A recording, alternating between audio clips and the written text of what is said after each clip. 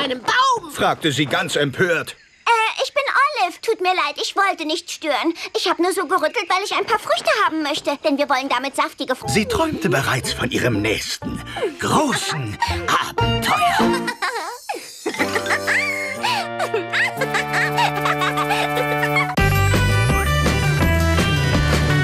Gleich kommt Olive der Strauß.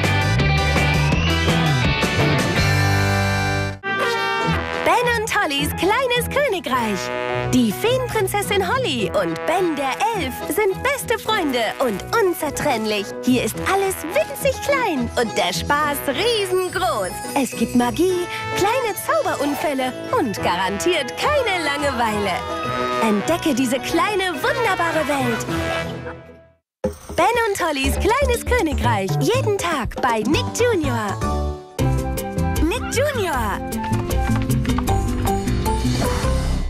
Mit Olive dem Strauß können Kinder ihrer Fantasie freien Lauf lassen, lernen Probleme zu lösen und erfahren viel über Freundschaft und Selbstvertrauen. Olive ist ein Straußenmädchen. Sie lebt mit ihrer Familie